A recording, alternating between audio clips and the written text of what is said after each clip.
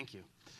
All right. Well, thank you for um, having me here like you had a choice. Um, it's great to be in North Carolina. Uh, our team is from uh, Los Angeles, and I'm here with uh, one of my co founders, uh, Jason, our CTO, and uh, one of our first employees, Alex, also here. So we're excited to uh, interact and, and, talk more um, specifically about, about payments. Um, so my slideshow is, I don't know if this is working. Uh oh, it's going the wrong way. Maybe it's this one. There we go. Well, you saw half of the slideshow already, so we just skip to the end. Um, so I'm, I'm going to talk specifically today about nonprofit payments. Um, before I do, I want to talk a little bit about uh, my background just to help understand why I've become passionate about payments in the nonprofit space. Uh, a lot of people early on said there's no money to be made or there's not a lot of money flowing through the nonprofit industry, so why does it need a sophisticated payments solution? Uh, we're going to address that because it's actually quite the opposite. Uh, there's a lot of currency, there's a lot of uh, money flowing into the nonprofit space, not just here in the United States, but all around the world. And so I, wanna, I, wanna, I want to address that. Um, I spent a decade uh, building and starting nonprofit organizations, and we did so uh, through non traditional means in terms of how we raised. 95% uh, of the funds we raised were online. Uh, ever since uh, 2004 was the first nonprofit that I started. And this was before, you know, things like Kickstarter or crowdfunding were really a, a, big thing. And so our team was comprised, we felt very much like a tech startup. We were comprised of engineers. We built our own custom solutions. Uh, it was expensive, uh, but we were able to raise a lot of funds for the different programs that we were operating. Um, fast forward to 2015 when I started Funraise, uh, I was experiencing the same pain points um, that I was experiencing the first day in the nonprofit space.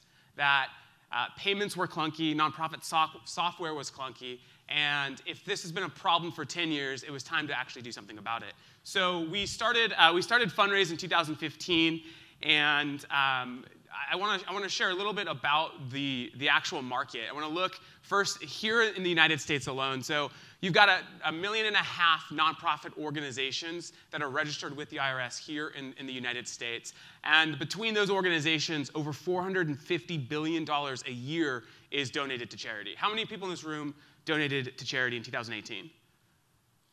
That's about right. 95% of Americans uh, donate to charities in the United States. And I'm sorry about the experience you probably encountered when giving to one of those charities. Um, that was a joke, you could laugh, but it's okay if you don't want to. Um, $450 billion, and a lot of people say, well, most of that's probably coming from government funding or grants. Uh, opposite, 70% of this $450 billion is coming through people like you and me, individuals giving to charities. So um, the more staggering stat is only 10% of that today is actually being captured online. Um, so about 35, 40 billion dollars last year in 2018 was donated online, and the other 300 plus was, or close to 400 uh, billion, was donated through checks and other kind of archaic methods. Um, so there's a huge opportunity in the nonprofit industry to transform this industry, to move it to go online, and to introduce it to a whole nother group of donors that are not giving today simply because they can't do so in a way that feels familiar and safe to them um, to, do, to do online. So I'm gonna, I'm gonna talk, spend some time talking about um, some of the uh, problems that we've identified. Um, so Funraise um, is a, a, SaaS company. Uh, we have built a platform, basically everything from a CRM to email marketing to crowdfunding and peer-to-peer, one-time and recurring payments. Basically, your, your modern fundraising stack, we can do it all. We bring all these features together in one place um, so that you don't have to use four or five different solutions. And I'm excited that I don't have to talk really any more about Funraise because I'm not selling to you. You're not our ideal customer profile. Uh, I'm more excited to talk about the actual payment strategy we've deployed to build our business. Uh, and we've been doing so actually since the beginning of 2015 using uh, API. Um, so, real quick, a couple of problems that uh, we addressed early on when building out the model, when building out the company. We looked at, we looked at the nonprofit space uh, we, through the lens of the experience that we had uh, and the research that we were doing. And we saw two predominant problems. And this one is really uh, the problem of the root problem is that the nonprofit space is very fragmented in terms of, of payments. Um, and what that has led to is just really bad UI across the board, which isn't always necessarily a payments problem. Um, but what you see consistently across the board when you're going to give to charities, and if you're doing so online, is that nine times out of 10, it's an experience that you would never want to put your credit card into. Uh, it feels unsafe. It doesn't feel familiar with anything that we've purchased or bought or interacted with online in the last decade. Um, nonprofits um, are behind, and, and, this UI is actually impacting their overall uh, processing. Um, and I want to harp on this because this is actually really the root problem uh, that, non, that we have identified in, in the nonprofit space as it relates to payments is that it's very fragmented. So when we went to, when we went to start the company, uh, you know, we are like, how are we going to process payments? What, what gateway are we going to build on top of? Um, and, you know, at the time, uh, we were looking at Stripe or Authorize or WePay, all these gateways that are out there in the market. And the problem is we couldn't and still can't find really any consensus amongst any of these gateways across a wide variety of, of the nonprofit market.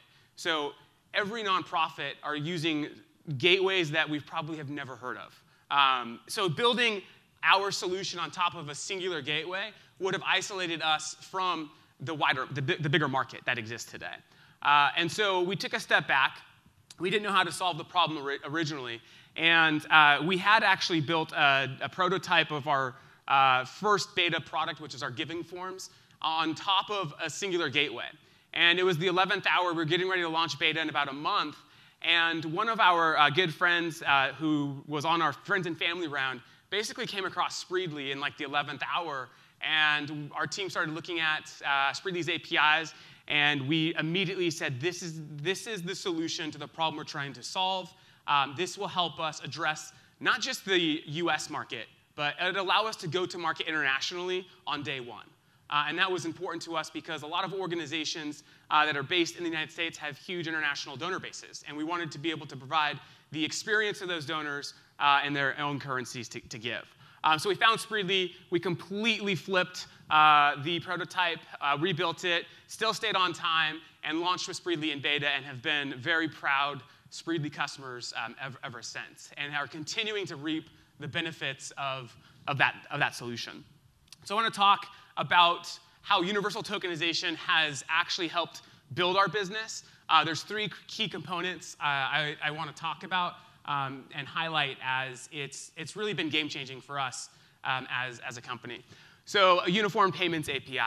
Um, today's donor um, does not have a preferred method of giving. Right? Today is like modern donor, someone who's going to give online. Um, and you know, online donors really don't have, when we think about online giving, you know, a lot of times people, uh, nonprofits might assume, oh, like $100, $1,000, but we're seeing people give 100,000 plus online uh, through various methods. Uh, and so nonprofit organizations need to be able to, to be set up to be able to uh, transact these, these types of gifts.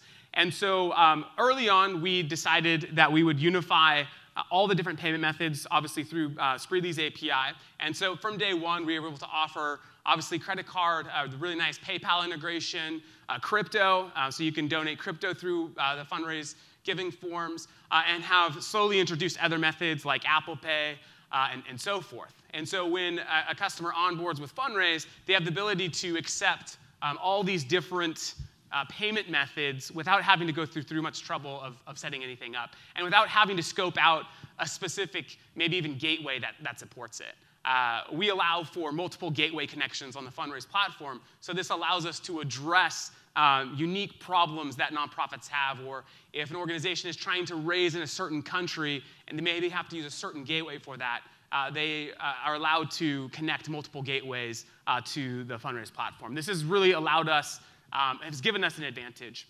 Um, gateway ag- agnostic. So uh, as I mentioned earlier, this goes back to the, the problem is most nonprofits are tied to a specific gateway, uh, merchant accounts. They have relationships with uh, these entities. And so, you know, that's one thing to disrupt their business and move them on to a new CRM or a new, uh, whole new set of fundraising tools. And then it's another to say, hey, by the way, you also have to change your gateways.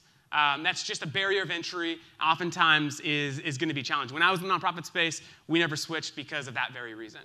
And, and so what this has allowed us to do is to really not even have, have to have the conversation uh, about gateways. And then for bigger uh, enterprise customers that use Funraise, it's also given us the ability to shop around their rates on their behalf so that we can, if they want to see a cheaper credit card processing rate, we can actually um, bid their processing volume across different gateways. And we've done this multiple times. Uh, for one of our customers that transacts millions online, we were able to bring down their processing by an entire percent uh, by shopping it around to different gateways. And so we've created this opportunity to, although Funraise is often the more expensive software solution when going against competitors, overall, if you look at everything all in, we're typically cheaper because we can help navigate the processing rates and lower those processing rates, which doesn't affect our model as, as, a company. And so being gateway agnostic has really allowed us to attack the market in a completely different way than a lot of our competitor, competitors. And this one was really hard to think of like a succinct word, um, but um, productizing vendor innovation. So uh, what we've been amazed at uh, in the last you know, four years uh, utilizing payment, uh, payment API is just their rate of innovation. Uh, the new features that they, that they release and that, and that they add that we then can adopt um, and productize into our platform. Uh, we've talked a lot about today auto account updater. Right? This is an actual product that we can resell to our customer base, that we can charge for, that we can say, hey, if you, uh, a lot of our uh, customers have their own subscription programs, uh, recurring revenue. We've got organizations that you know, have thousands and thousands of, of subscriptions, and nonprofits literally have jobs for people to call recurring donors every day if their card expires or if their card, um, if they get a new credit card. And they're spending so much unnecessary time uh, being inefficient making these phone calls when now there's obviously technology to do the work for you and to give that person more time to build effective relationships and to cultivate their donor base. And so being a part of, of this uh, or using Spreedly's API and uh, really piggybacking off of their innovation, we can release those types of things to our customer base um, and uh, in many ways, you know, our, our, customers really don't know who Spreedly is. And so Funraise gets a lot of, a lot of the credit for this like innovation that's happening behind the scenes. And, um, and therefore can charge for new features and so forth. And so it's really allowed us to, uh, to productize um, things and not have to be the payment experts, right? We come from a background where we understand the software that our uh, our market needs in terms of, of like features that are non-related to payments. And we know that payments is really the crux of everything, and it's important. Um, but we don't have to be, we don't have to have an in, a payments engineer team of 10 people to have a really sophisticated, strong payments strategy in this space. Uh, and so that's, that's something that, that we appreciate. And again, there's, uh, there's been so many downstream effects that we have been able to grow the business as, as, as a result of uh, basically using uh, the payments API. Uh, I'm excited. I'm going to also be a part of the panel. If there are any questions, I'll be around all week as well. Looking forward to talking more and interacting with you all then. Thanks.